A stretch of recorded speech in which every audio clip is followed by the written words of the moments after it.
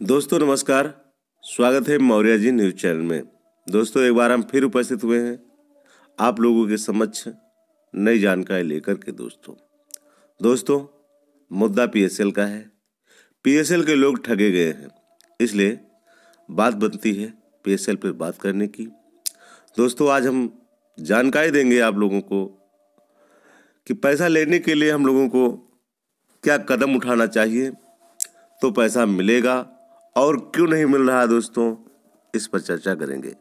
इससे पहले हम चाहेंगे दोस्तों, जो पहली बार चैनल पर न्यूज़ देख रहे हैं, उनसे रिक्वेस्ट है, चैनल को सब्सक्राइब कर लें और साथ में बेल आइकन घंटी को दबा दें ताकि उन्हें लेटेस्ट न्यूज़ सर्वप्रथम मिलती रहे दोस्तों।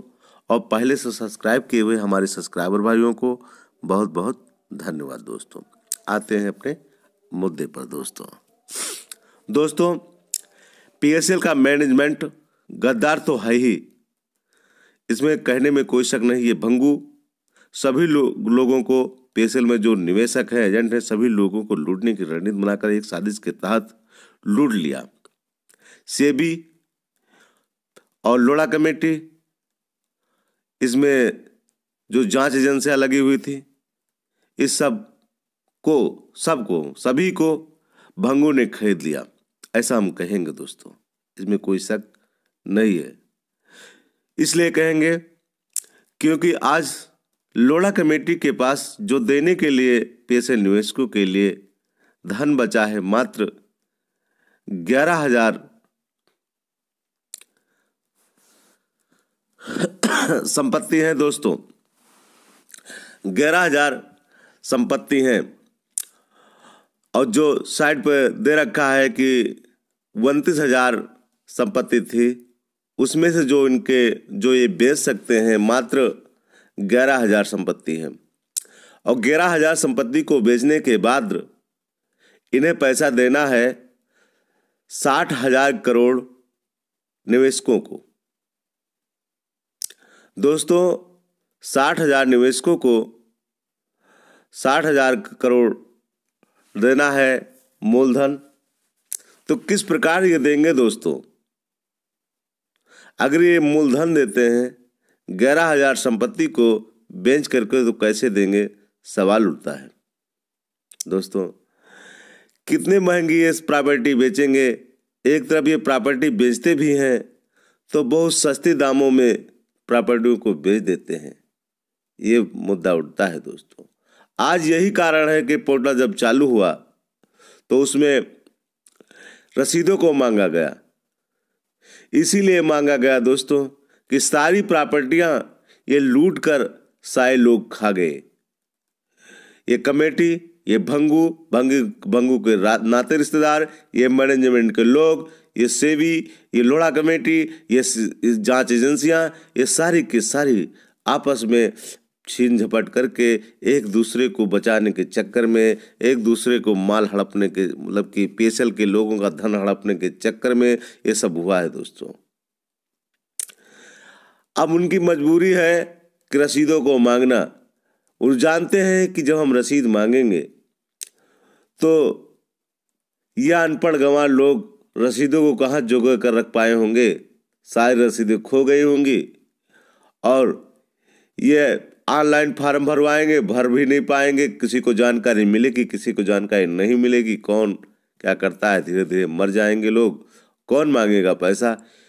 और ग्यारह हज़ार संपत्ति जो है, उनचास हज़ार, वो साठ हज़ार करोड़ की जो देनदारी है, इसे मात्र हम बहुत ज़्यादा देंगे तो पच्चीस तीस करोड़ या कम से कम बारह तेरह ही करोड़ में, बारह तेरह हज़ार करोड़ में ही निपटा देंगे। इनकी ये रणनीति है दोस्तों। इस, जिस प्रकार पैसा दे रहे हैं देने की बातें हो रही हैं, जिस प्रकार से पैसा मिला लोगों को, ऐसे तो यही लगता है दोस्तों कि ये मात्र हम बहुत ज़्यादा बता गए, बारह तेरह हज़ार करोड़ में ही सभी लोगों को पैसा चुकता करके बैठ जाएँगे। और जो बचा हुआ धन होगा ये लोड़ा कमेटी, ये सेबी और जो मिले जुले मैनेजमेंट के लोग हैं, जो इस सिस्टम में मिले हैं, संगठन के लोग भी हैं इसमें, जो मिले हुए लोग हैं, जो इस सिस्टम को डिले कर रहे हैं, ये सारे लोगों की नीयत है कि सारे पैसे को लूट कर खा जाओ। इसीलिए रसीदों की मांग की गई दोस्तों। लेकिन इस सब बातों से हमें क्या लेना देना? जो इस बात को सोचता है कि हमें इन बातों से क्या लेना देना, लोग, लेकिन नहीं दोस्तों हम भारत के नागरिक हैं। हम चुप मार के बैठने वाले नहीं हैं। हमें इन बातों में बहुत कुछ सोचना है और हमें कुछ ऐसा करना है ताकि ये बेमानों की बेमानों की जीरा हराम करना है। और जीरा हराम किस तरह से करना है दोस्तों इसके लिए हम चाहते हैं दोस्तों एक सोची समझी गाइडलाइन के तहत हमें काम करना है। और वो गाइडलाइन क्या है? जरा सा है। हम बताने वाले हैं आपको। फिर लोग कहेंगे कि ये ज़ीरो चैनल वाले की बातें ही कर रहा है। तो दोस्तों, द ज़ीरो चैनल अच्छा चैनल है। इसे कहने में कोई शक नहीं है। सोशल साइट पर बहुत अच्छा प्रचार प्रसार करके जो कामयाबी हासिल जगह जगह उन्होंने की है, उसकी तारीफ़ काबिल है। तो दोस्तों, हमें इन लोगों को, इन मैनेजमेंट को फंसाने के लिए इक्कीस अगस्त 2014 22 अगस्त 2014 का मुद्दा उठाना है। और हम उन एजेंटों से रिक्वेस्ट करते हैं, उन सीनियरों से रिक्वेस्ट करते हैं, इनको गले का फंदा बना दो इसे और सारा ब्याज सहित पैसा लो। ये पैसा देने पर मजबूर हो जाएगी, ये सौ प्रतिशत उम्मीद है दोस्तों। जिन, जिस प्रकार इन लोगों ने बेईमानी हमारे साथ की है, उसी प्रकार हम लोगों को सतर्क होकर के इस काम को करना है। इक्कीस, बाईस अगस्त 2014 चौदह का जो मुद्दा है, वो मुद्दा पहले समझ लीजिए मुद्दा क्या है दोस्तों। निवेशक लोग नहीं जानते, उन्हें इस बात को बताना बहुत ज़रूरी है। दोस्तों, मैं साफ़ कहना चाहता हूँ, जो रसीदें आप लोगों को 2014 अगस्त, बाईस अगस्त 2014 को मिली थी या बाद में मिली थी? जिन लोगों को, जिन लोगों के पास रसीदें हैं, वो अपनी रसीदें चेक करें। उसमें डेट लिखा है। जो रसीदें कटने की डेट है, उसे डेट को देखें दोस्तों। बहुत सारी आपको रसीदें मिल जाएँगी, उसमें लिखा है बाईस अगस्त 2014 और इक्कीस अगस्त 2014 लिखा मिलेगा दोस्तों। और इसका हिसाब सेबी के पास नहीं है। जब आर टी आई लगाकर सेबी से पूछा गया, आपके पास इक्कीस अगस्त दो हज़ार चौदह, बाईस अगस्त दो हज़ार चौदह का डाटा है। तब पता चला इक्कीस अगस्त दो हज़ार चौदह, बाईस अगस्त दो हज़ार चौदह का डाटा उनके पास नहीं है। जब उनके पास डाटा ही नहीं है तो उस तो उस समय लगभग पंद्रह हज़ार करोड़ पैसा इकट्ठा हुआ, पंद्रह हज़ार करोड़ पैसा इकट्ठा हुआ, सभी ब्रांचों, भारत के सभी ब्रांचों से पंद्रह हज़ार करोड़ पैसा इकट्ठा हुआ और उस पैसे का हिसाब कहीं नहीं है। वो इनके गले का फंदा बनेगा दोस्तों और लगभग पाँच हज़ार रसीदें कटी हुई हैं।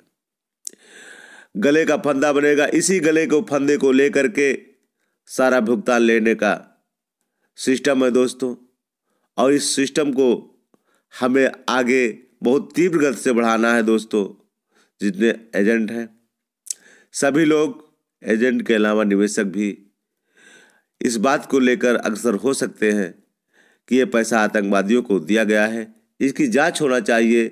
सोशल साइट पर ये चल रहा है कि इक्कीस अगस्त दो हज़ार चौदह, बाईस अगस्त दो हज़ार चौदह का पैसा जितना है, सब आतंकवादियों को दे दिया गया है। आतंकवादी गतिविधियों में ही खत्म हुआ है। इस बात का मुद्दा उठाया जा सकता है।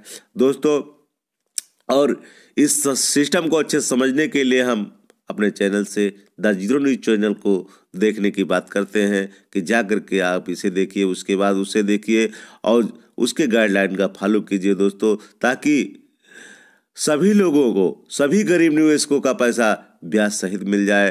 दोस्तों ये पैसा ज़रूर मिलेगा, इसमें कोई शक नहीं है, लेकिन देर ना हो जाए। दोस्तों, देर न किया जाए क्योंकि देर करने से ही पैसा यही कारण है कि संगठन वाले इक्कीस अगस्त दो हज़ार चौदह बाईस अगस्त दो हज़ार चौदह की मुद्दे की बात नहीं करते हैं क्यों नहीं बात करते हैं?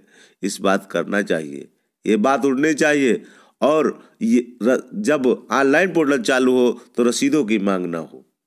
रसीदों से क्या मतलब है? क्या आपके पास सारा डाटा उठाया नहीं है? पीएसएल के मैनेजमेंट से ब्रांचों से, जब हेड ऑफ़िस से सारा डाटा उठा है, सभी सभी डाटा उठा है तो उसमें तो सारे डाटे होने चाहिए। जब सारे डाटे हैं तो उसी को देख करके, मिलान करके सभी लोगों का पैसा दे। उसमें रसीदों को मांगने का क्या मतलब है।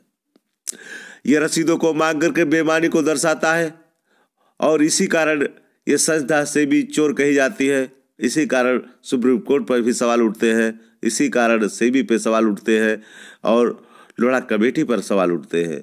और अगर इस सिस्टम में लिप्त ना होती, गलत नियत इसका ना होता, अगर साफ़ होता तो गाली क्यों खाती? और इस इस वीडियो के द्वारा गाली तो दी ही जाती है, क्यों नहीं दी जाएगी? गरीब निवेशकों का पैसा फंसा हुआ है, और जो सिस्टम अपनाया गया बेमानी तरीके है, और जो बेमानी वाले सिस्टम है, इन सिस्टम में अगर ठीक से जाँच होती ठीक से जात होती तो